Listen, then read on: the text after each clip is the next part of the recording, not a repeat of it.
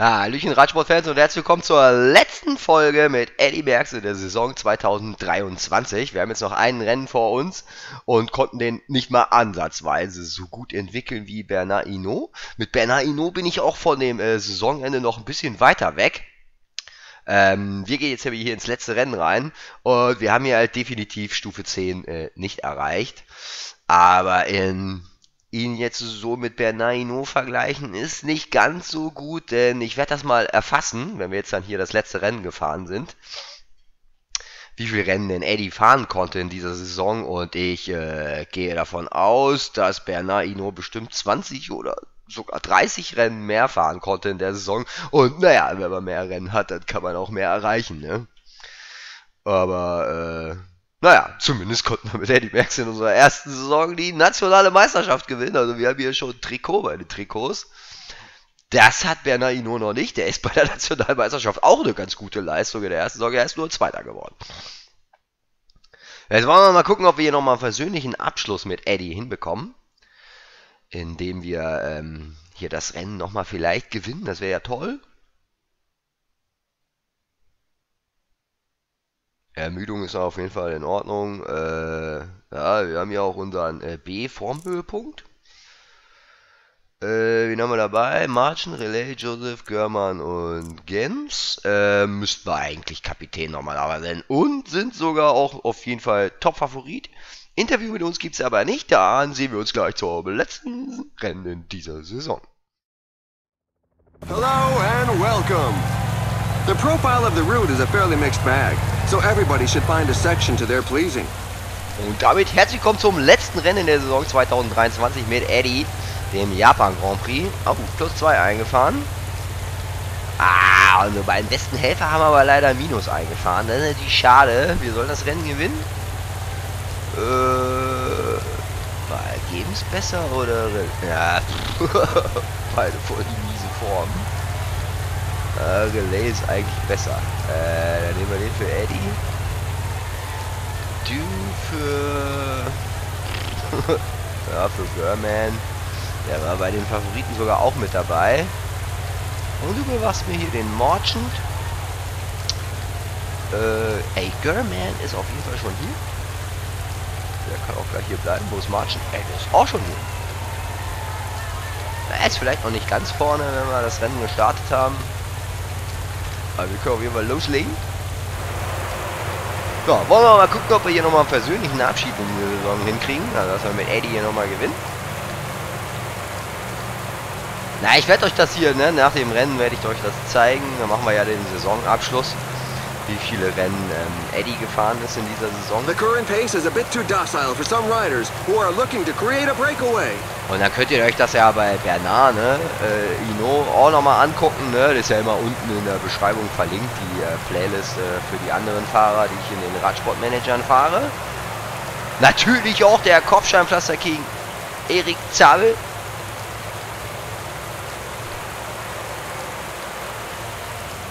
Kann ich euch übrigens äh, ans Herz legen, ähm, euch die Folge anzugucken, die am Dienstag rausgekommen ist bei Erik Zabel. Da könnt ihr mal sehen, wie ein Manager einen Superstar-Titelverteidiger bei der Flandern-Rundfahrt verarschen kann. also das ist wirklich... Äh, lache ich auch viel, obwohl ich immer noch diese... Ich habe halt leider äh, die Bronchien bei mir sind es. Deswegen bin ich jetzt schon seit äh, Wochen krank. Also ich bin nicht wirklich krank, also ich bin krank schon, aber äh, ich gehe halt trotzdem arbeiten, so wie es gehört.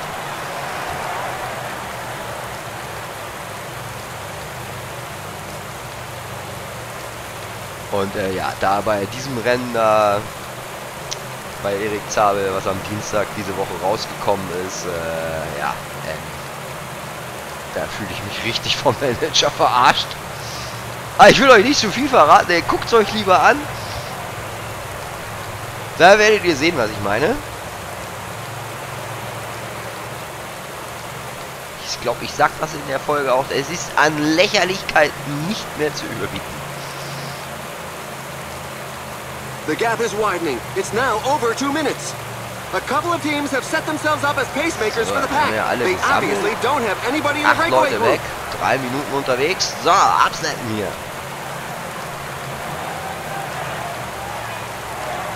Äh, 79 am Bügel. Mit den plus 2, die wir durch die gute Form bekommen. 81, das ist, wissen wir ja, wo wir hier gewinnen. Somebody's taking a tumble in the main bunch. Oh, Bettendorf, den kenne ich sogar.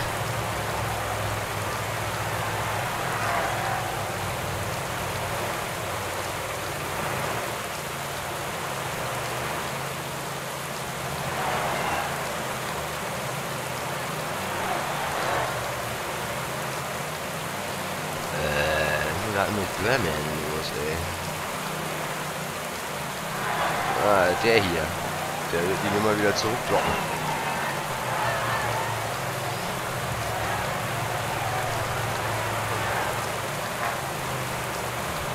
Ah, über vier Minuten jetzt Abstand.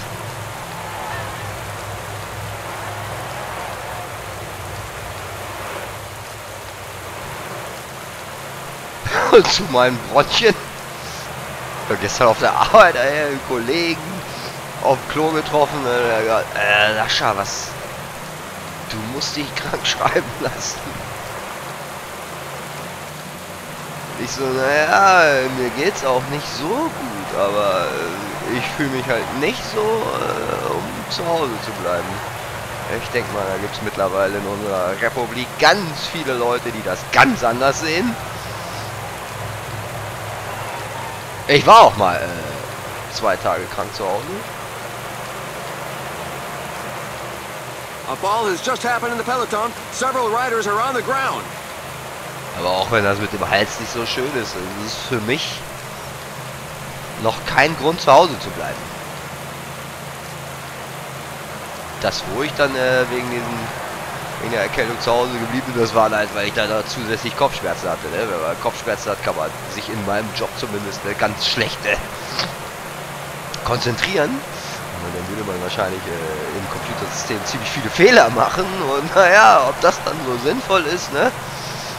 Weil diese Fehler zu korrigieren deutet, äh, dauert meistens länger, als wenn man das eben nicht gemacht hätte.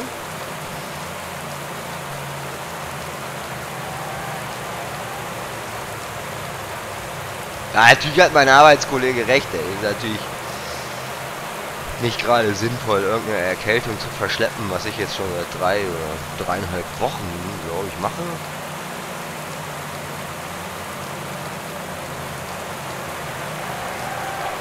So, nach dem dicken, fetten Hügel, der jetzt kommt, werden wir jetzt erstmal wieder Wasser holen. So, das war der Vorhügel. Jetzt kommt erst der richtige. Den eiern wir mal noch hoch. Abstand wird auch schon deutlich kleiner. So, da haben wir die Spitze des Hügels erreicht. Und Joseph, hol mal ein bisschen Bullets hier.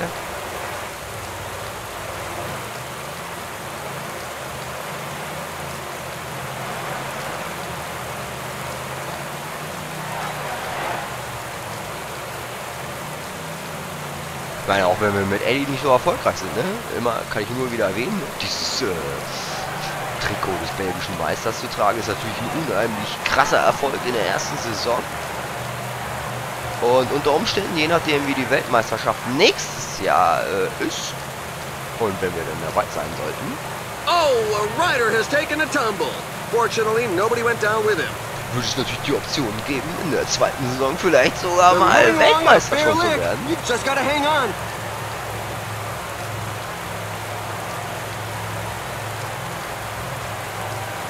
Habe ich selbst mit dem guten alten Erik Zabel erst in der dritten Saison geschafft.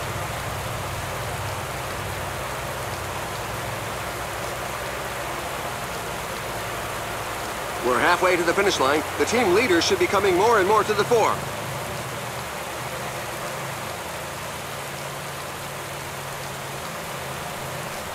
Ah, Tempo ist zwar erhöht, aber noch nicht so hoch, aber hier. Also für 35 Leute ist das Tempo schon viel zu hoch.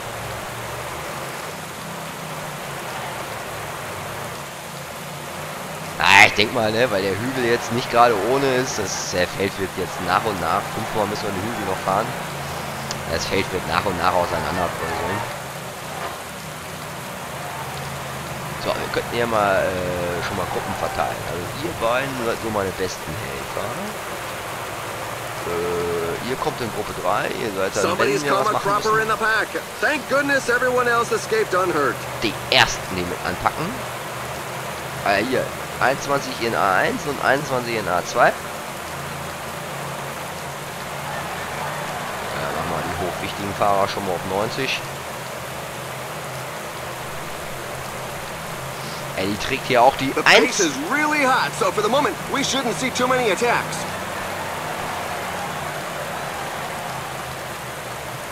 Ja, ich das hier mit plus 2 äh, Tagesform nicht gewinne, dann bin ich auch von mir selber sehr, sehr enttäuscht.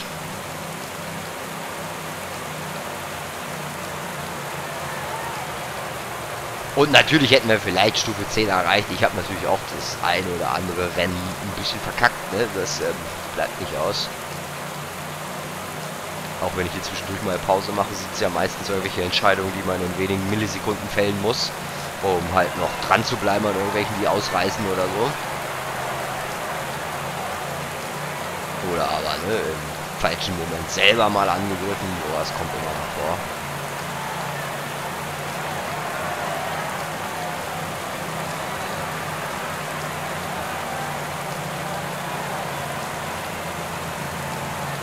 The pack is increasing its work rate. Some teams can't be happy with the breakaway. So this is the last third of the race. Anyone who is gunning for victory has got to make a move fairly soon. Für irgendwelche Leute, die nicht so bewandert mit dem Radsportmanager sind, das ähm, mag jetzt für Außenstehende immer alle so relativ easy und so aussehen, aber äh, das ist, wenn man auf Extrem spielt, ist schon sehr, sehr, sehr schwer. A rider is down. Weil die kleinsten Entscheidungen, die man fällt, können schon unheimlich große Auswirkungen haben. There are some legs that just can't take the speed anymore. Und ich spreche aus Erfahrung. Mit genau diesem Jahr hier, genau, mit 2023 spielt dieses Game zwei Jahrzehnte jetzt. Und wie man sieht, ich bin immer noch völlig begeistert.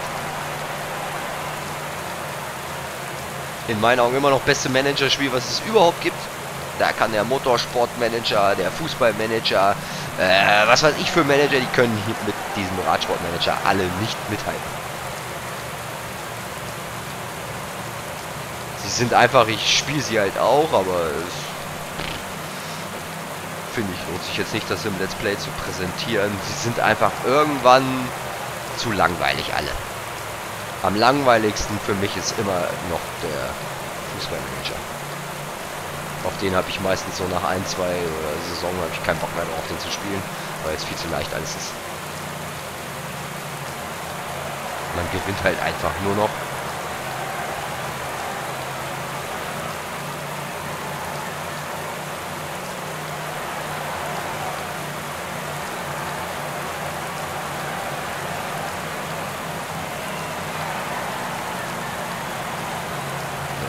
Da ist Eddie mal ausnahmsweise mal ganz gut nach vorne gekommen und wird hier gleich von diesem Australier hier, ne? Der drückt uns gerade wieder zurück.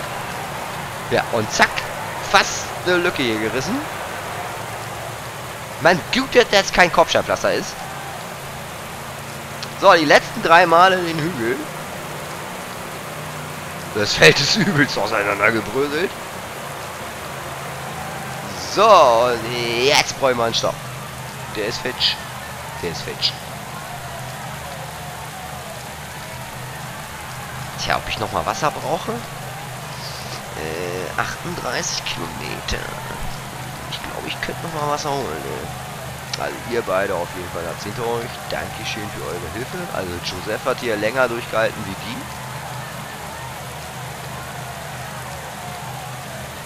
Ja, das liegt, denke ich mal, äh, an seiner guten Form.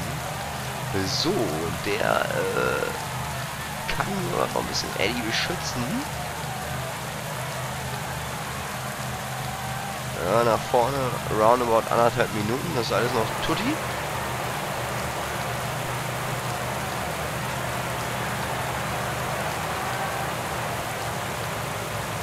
Wo ist ein Görman? Da ist Görman. So, dann sind unsere beiden hier mit rausgeflogen.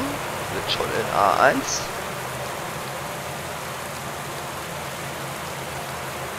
Das ist eine Abfahrt. Eddie, komm mal ein bisschen nach vorne. Ey. Marchand, halt doch nicht deinen Kapitän auf hier. Stopp. Oh, ordentlich rot verloren.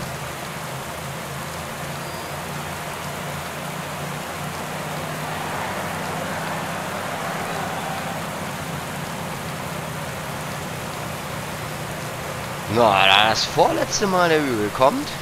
So, meine beiden Top-Helfer hier mal ran.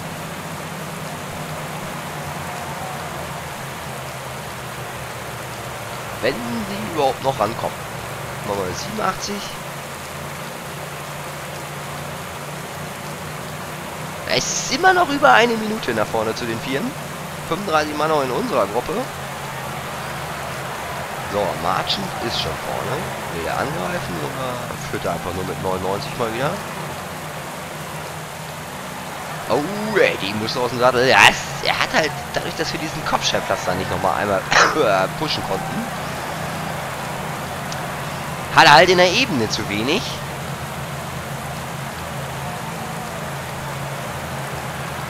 Ja, Gruppe wird immer kleiner. Komm, vielleicht kriegst du ja nochmal Wasser ran. Ihr beiden euch auch nochmal Wasser holen. Oh, Eddie wieder aus dem Sattel. Ja, da haben wir sie gleich. Und alle eingefangen. Äh, runterdrehen. Eddie für den letzten Hügel so viel Energie wie nur möglich hat. Oh, was ist denn da los? Was willst du denn? It's an attack! Oh ja. Mit dem haben wir schon mal gebettelt bei so einer Hügeletappe oder in, äh, Hügelrennen.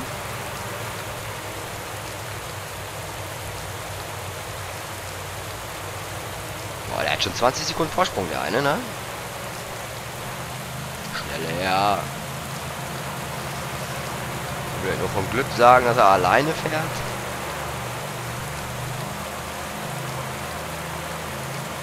Immer noch 20 Sekunden.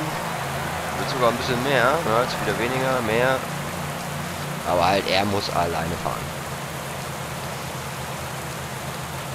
Na, fahren wir jetzt 89. Das müssten sie eigentlich bis zu dem Hügel schaffen.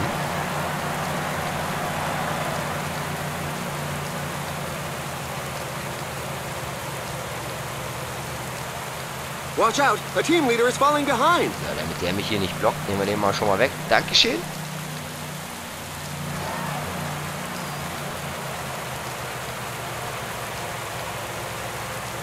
Fifteen kilometers remaining. Puncture! The rider will have to burn some energy to get back into the pack. 13 Mann nur in der Gruppe. Eddie hat gut rot, hat noch sehr gut gelb. Ich glaube, der hat da gerade schon mit dem Kopf gewackelt, der Spanier.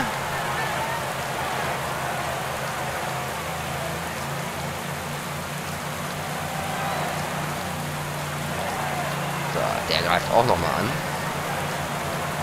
So, jetzt kommt noch dieser Voranstieg.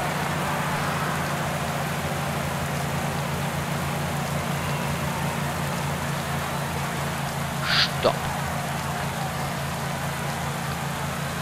Bleibt mal hinter dem dran. Ihr hört jetzt auf.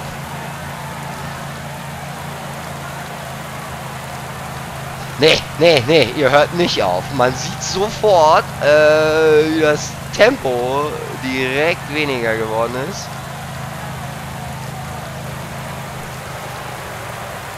So, bergab. The riders are entering the last 10 kilometers of the stage. Das Motorrad blockt uns. So, und jetzt aber stopp. Again! An attack is launched! The group has to break apart! Der ist das, ne? Ja, der greift nochmal an. Du drehst mal runter. Du äh, hast leider nicht mehr so viel äh, Rot. So, Wuseln.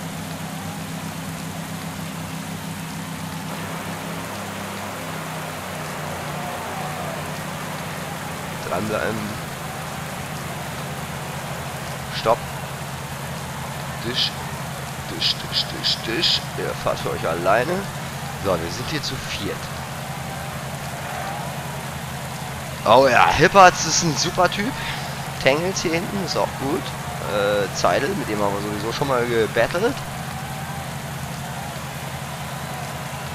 Ja, Wissen tun wir von all denen Leuten nichts.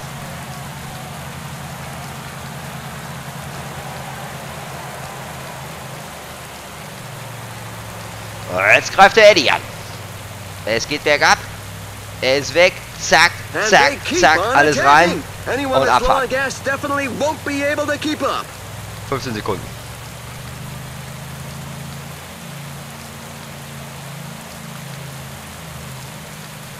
Zehn. There are just five kilometers left. Er ist halt leider in der Ebene nicht gut. Das ist halt sein Nachteil. Aber jetzt müsste eigentlich die Stromlinie reichen bis zum Ende. So, hinter uns ist nur noch einer.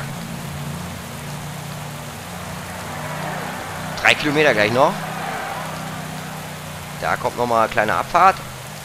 20 Sekunden. 30. Das sieht gut aus.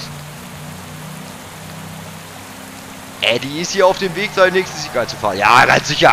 45 Sekunden, Alter. Da ist der nächste Sieg für unseren Eddie. Full Power, hier nochmal hinterm Auto einordnen. So, mal nicht den Bogen nehmen. Ich nehme mal was anderes. Ich hab die Faust genommen. Sehr schön. Das nenne ich doch mal einen persönlichen Abschluss hier für die Saison. Nochmal einen Sieg eingefahren. Noch nicht mal fünf drin. Da kommt jetzt erst der fünfte. Aber hier Görmann, Top 10 oder was? Es sieht für Görmann nicht schlecht aus. Er kommt hier als 8. Oh, nee, der überholt dich noch. Wird er nur 9. Immerhin, Görmann noch Top 10. Marchend, Marchend. Top 10 oder? Ja, ja. Sauer. Der ist auch nochmal in den Top 10. Da kommt auch schon Joseph. 13. Auch nicht schlecht. Nur zwei von uns unterwegs.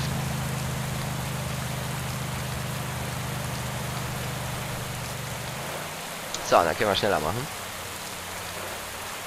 So, da kommen unsere letzten beiden.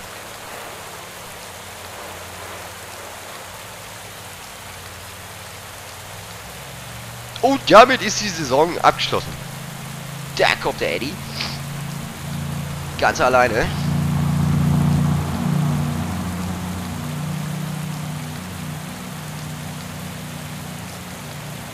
Der kann auch nicht mal das Auto mithalten. So, und für das letzte Rennen gönnen wir uns auch nochmal die Sieger. Also mit den Leuten, die bei uns da rein sind, müssten wir auch eigentlich im Team ganz vorne sein. Ja, ich sehe bei den anderen Teams immer jeweils nur einen.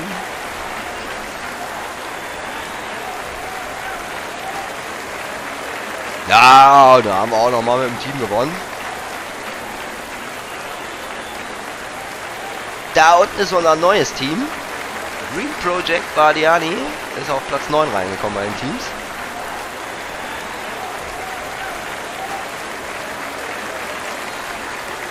Ja, und der Hammers.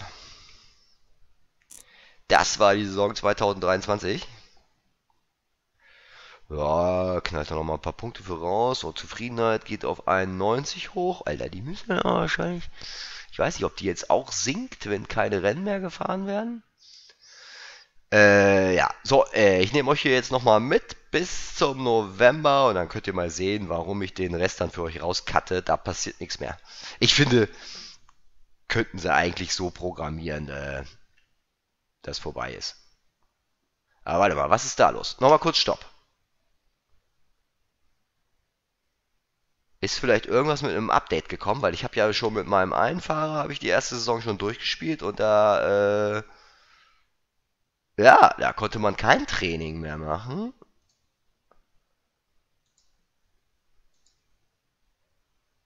Nee, geht auch, geht auch, geht definitiv nicht. Sieht man ja, ne? Ich darf hier nur das Training bis zum 22. einstellen, auch wenn hier halt angezeigt wird, 23.10. bis 29.10., dass ich nichts eingestellt habe. Aber ich darf halt auch nichts einstellen. Äh, deswegen machen wir jetzt mal ein bisschen weiter. So, Transfermarkt ist auch geschlossen.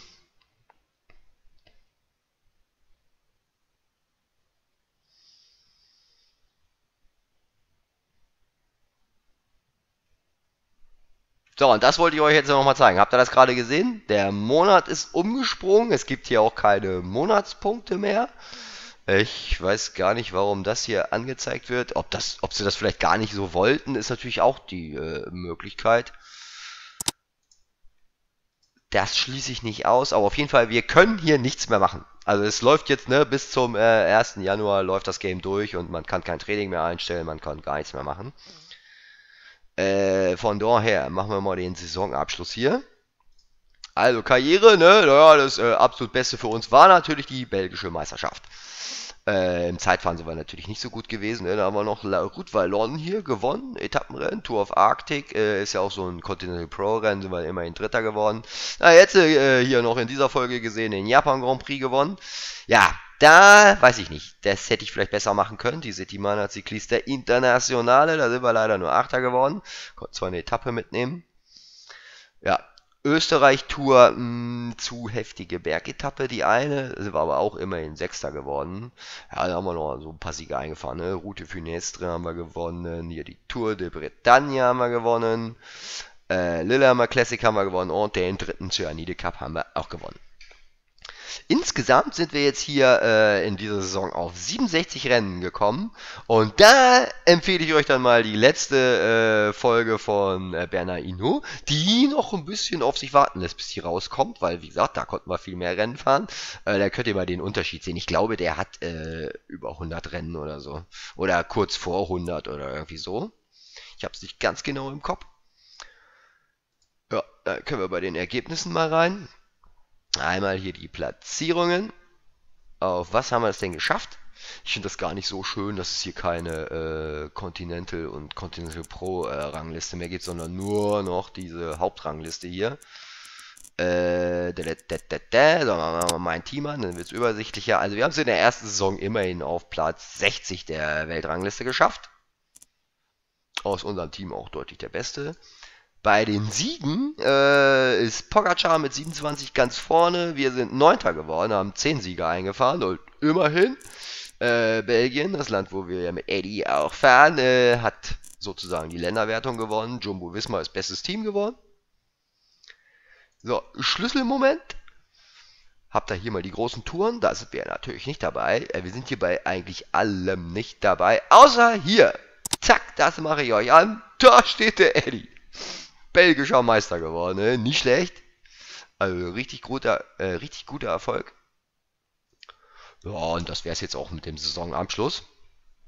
Äh, ja, dann hoffe ich, dass ihr mit der ersten Saison euren Spaß hattet mit Eddie. Wir sehen uns dann zur neuen Saison. Den Rest, der jetzt hier kommt im Jahr, den cutte ich euch einfach raus. Bis dahin, bis denn und Cherry.